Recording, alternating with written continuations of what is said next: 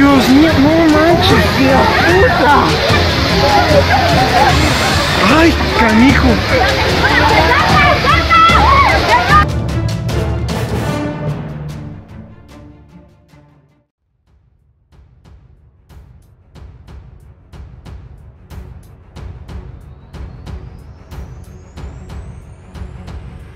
Gempa berkekuatan magnitudo 4,5 terjadi di Cilacap, Jawa Tengah. Gempa berada pada kedalaman 10 km.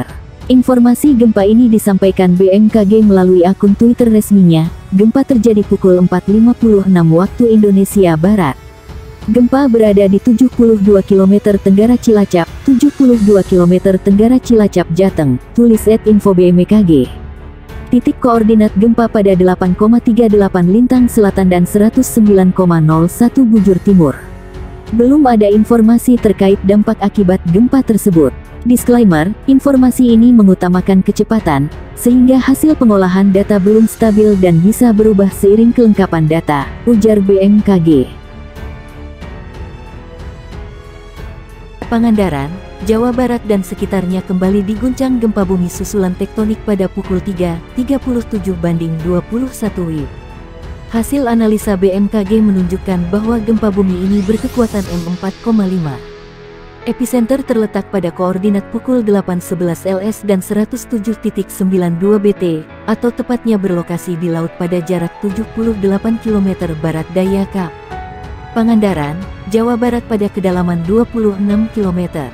Dengan memperhatikan lokasi epicenter dan kedalaman hiposenternya, gempa bumi yang terjadi merupakan jenis gempa bumi dangkal akibat aktivitas subduksi lempeng, ujar Kepala BBMKG Wilayah 2 Tangerang Selatan, Hartanto dalam siaran persnya.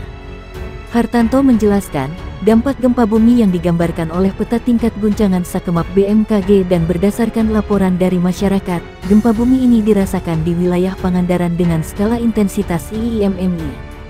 Getaran dirasakan nyata dalam rumah, terasa getaran seakan-akan ada truk berlalu. Gempa juga dirasakan di Tasikmalaya, Garut dengan skala intensitas 2 IIMMI. Getaran dirasakan oleh beberapa orang, benda-benda ringan yang digantung bergoyang, getaran dirasakan nyata dalam rumah. Terasa getaran seakan-akan ada truk berlalu, paparnya. Sedangkan di Ciamis dan Banjar, gempa dirasakan dengan skala intensitas 2 MMI. Getaran dirasakan oleh beberapa orang, benda-benda ringan yang digantung bergoyang. Namun hingga saat ini belum ada laporan mengenai kerusakan bangunan sebagai dampak gempa bumi tersebut. Hasil pemodelan menunjukkan bahwa gempa bumi ini tidak berpotensi tsunami, katanya. Hartanto mengatakan, hingga pukul 4.15 waktu Indonesia Barat, hasil monitoring BMKG belum menunjukkan adanya aktivitas gempa bumi susulan.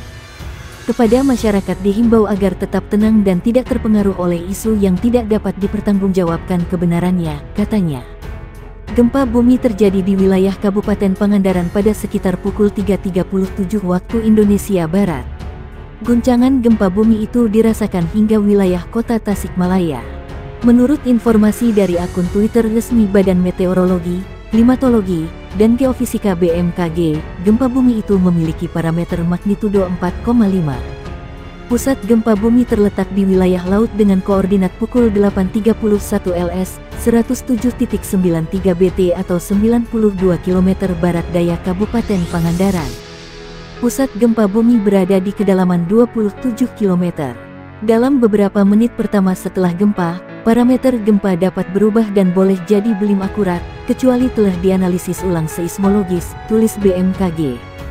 Berdasarkan pengamatan Republika, guncangan gempa bumi yang berpusat di Kabupaten Pangandaran itu dirasakan hingga wilayah kota Tasikmalaya. Guncangan gempa itu sempat membuat sejumlah barang di dalam rumah bergoyang. Namun guncangan gempa itu hanya terasa sekitar 3 detik. Setelah itu, tidak dirasakan kembali gempa susulan. Sejumlah warga di Kabupaten Pangandaran juga merasakan guncangan gempa bumi tersebut. Namun, sejauh ini belum ada laporan lebih lanjut mengenai dampak gempa bumi tersebut. Gempa tektonik bermagnitudo 4,5 mengguncang wilayah Pangandaran, Jawa Barat, Sabtu menjelang pagi tadi. Beruntung, gempa dari laut yang terjadi pukul 3.37 waktu Indonesia Barat itu tidak berpotensi tsunami. Gempa tepatnya berlokasi ada jarak 78 km arah barat daya Kabupaten Pangandaran. Kepala Stasiun Geofisika BMKG Bandung Teguh Rahayu, lewat keterangan tertulis, menyebut gempa tergolong dangkal, dengan kedalaman 26 km. Gempa disebabkan oleh aktivitas subduksi atau penunjaman lempeng, kata dia. Dampak gempa berupa guncangan seperti yang digambarkan oleh peta tingkat guncangan BMKG dan berdasarkan laporan dari masyarakat, dirasakan di wilayah Pangandaran dengan skala intensitas IIMMI. Getaran dirasakan nyata di dalam rumah seakan ada truk yang berlalu. Adapun di Tasikmalaya dan Garut, guncangan gempa dirasakan dengan skala intensitas 2 IIMMI. Getaran dirasakan oleh beberapa orang, dan membuat benda-benda ringan yang digantung bergoyang. Sejauh ini belum ada laporan mengenai kerusakan bangunan. Hingga pukul 4.15 waktu Indonesia Barat, nihil gempa susulan. BMKG mengimbau masyarakat agar tetap tenang dan tidak terpengaruh oleh isu yang tidak dapat dipertanggungjawabkan kebenarannya. Pangandaran diguncang gempa bumi, dini hari. Guncangannya dirasakan oleh warga Tasikmalaya. Mereka terkejut ketika tiba-tiba bumi bergoyang.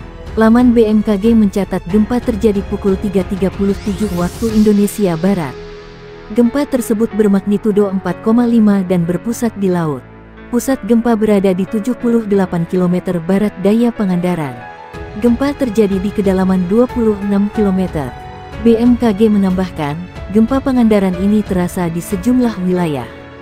Warga kota Tasikmalaya merasakan gempa bumi yang terjadi sebelum memasuki waktu salat subuh.